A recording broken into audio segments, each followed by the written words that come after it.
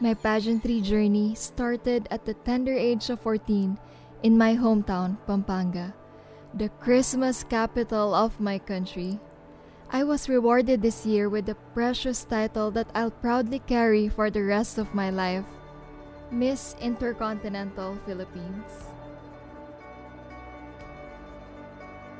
Through it all, I realized that the sparkle of the crown is momentary. It's the purpose by which it was given that is far more important to find a higher calling in this world and act on it. To make a difference in the lives of others, no matter how small. In the end, the true measure of fulfillment is not always in winning, but in discovering the best in all of us.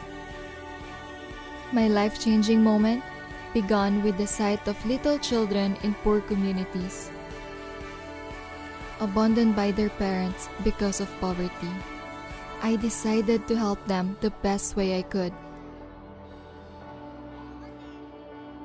While I love being around with kids, I also have a keen interest in travel. So I took up and finished a college degree in tourism.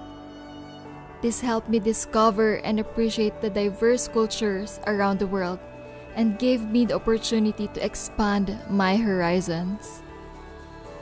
Some people say that those who discover their purpose and then live it are the happiest, and I couldn't agree more. Finding my purpose made me love and appreciate life better. Every smile I get from helping the less fortunate and each hug from a child I nurture makes me feel alive. Pageantry gave me a deeper sense of purpose, and fate had it that I'd be sent to Egypt, one of the world's greatest cradles of civilization. My destination is perfect. Even if I come from a nation of islands 10,000 miles away, our countries are linked by over half a century of friendship.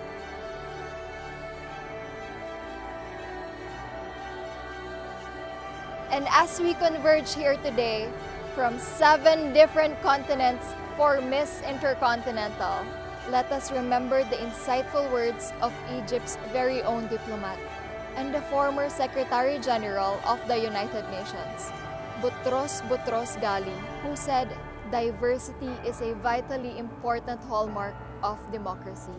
In the pursuit of our common purpose, let us raise our diverse voices together so our continents can hear us loud and clear.